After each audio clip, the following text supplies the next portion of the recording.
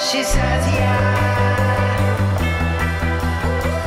New York is the place of my fondest memories from childhood to now as a real estate agent. Always a source of inspiration, New York is the people, the food, the fashion, and architecture. You can't help but be constantly inspired.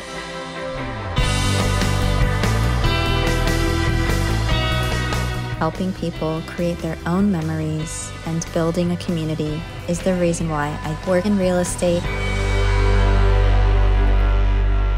New York is home